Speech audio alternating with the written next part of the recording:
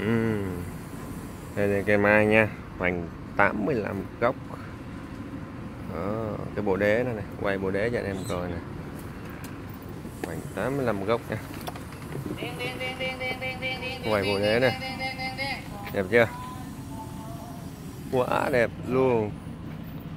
Quay lên cho nó quằn trời ơi nó quằn thấy nó quằn chưa? Trời ơi anh em nào thích mai không?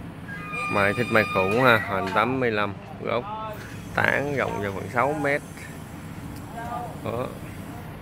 Nhìn không kiền nữa để mình đi tứ phía cho anh em coi nha. Nhìn là riêng luôn.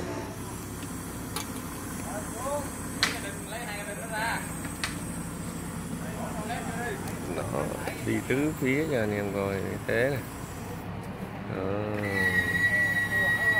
đã đời chưa?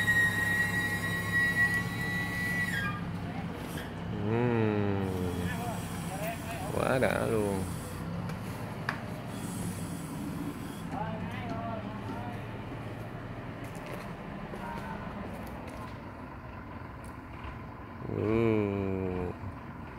Đã chưa? Quá đã luôn.